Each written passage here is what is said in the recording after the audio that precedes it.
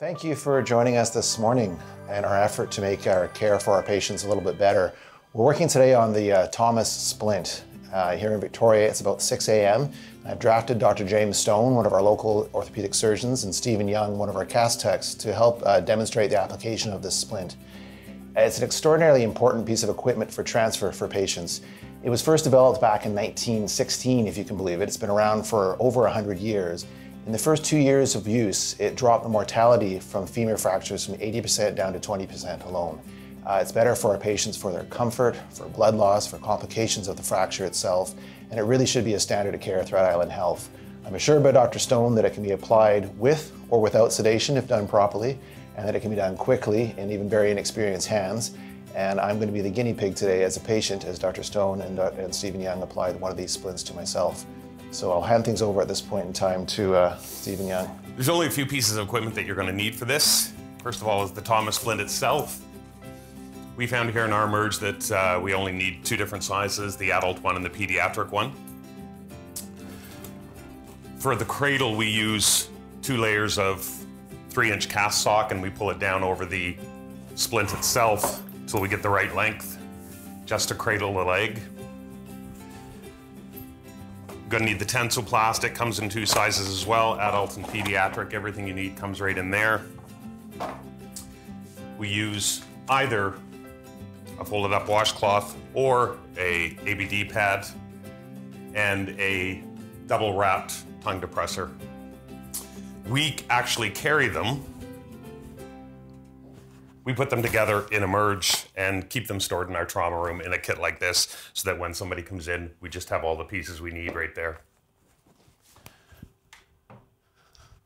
The last thing that I do that I found is useful for patient comfort is we'll actually wrap the top of the Thomas splint with two inch cast padding just because it makes it nicer on the patient's um, buttocks where this goes underneath. It's a little softer than this splint itself. Most important thing about applying a Thomas splint uh, is to maintain traction on the femur the entire time. Uh, it's helpful if somebody can grab the ankle, gently pull on the, on the leg and hold it in a reduced traction position. Uh, and the, the next person will come and uh, cut the uh, clothes and get exposure. Sorry, V,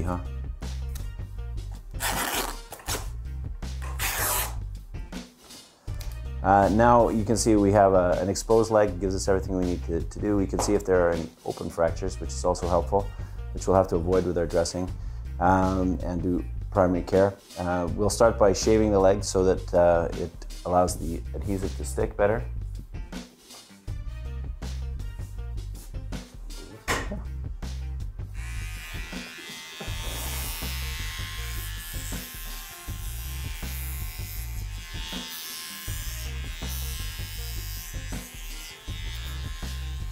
Really only essential to shave two stripes either side to correspond where the tape's going to go.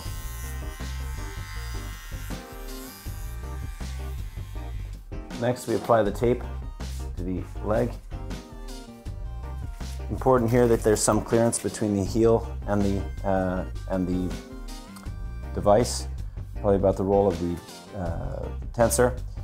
And uh, you have to hold it there it cannot be too long or you lose your ability to put traction on. Can't be too short or it won't work. So all this time, all I'm doing is maintaining traction. So if there is an unstable femur, it maintains it in length with ligamentotaxis.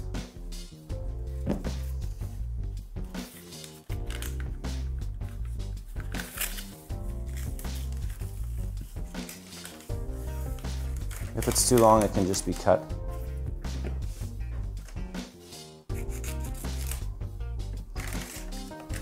Nice thing is, uh, because the tape will tend to shear on the skin, by applying a force down on it, it, it decreases the shear forces, so we put a, a wrap around.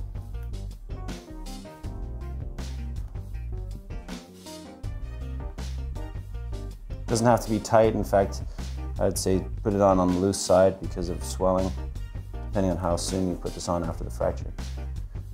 And when you get to here, it can be difficult to get that behind the leg, but you can, if you keep maintaining that traction, elevate and make it easier.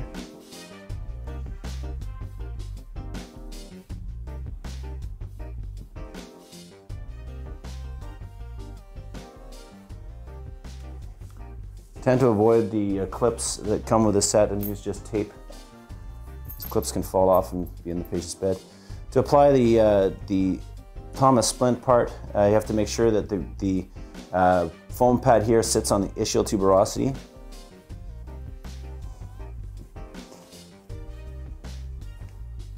And make sure that uh, all soft bits are out of the way.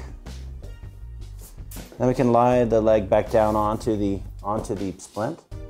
Uh, there's a strap that comes up with the proximal part of the strap uh, of the splint, which can go on loosely. You want to put that on? Again, I wouldn't put this on too tightly because of swelling.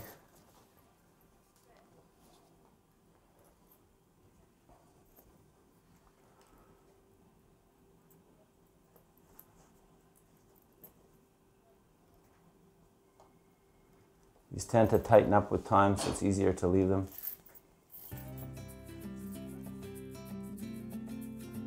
Again, we'll maintain traction while we put the knot ensemble here in order to tension it further. Uh, the simplest way is to just tie a simple little loop knot here, just above, just below the heel. Come around the end of the splint and loop through, creating a pulley system. And with that pulley system, I can apply as much or as little traction as I want. Uh, and then once I've got it to the traction that I think I need, I'm going to tie that knot off with two simple half hitches. See Boy Scout manual for details. Or Girl Scout. Let me take two simple tongue, tongue depressors taped together and you can put them in between your two lines here and get further traction by merely rotating this around until you've got an appropriate amount of tension and then turning it crossways on the Thomas splint and then we'll secure that either side with a little bit of tape.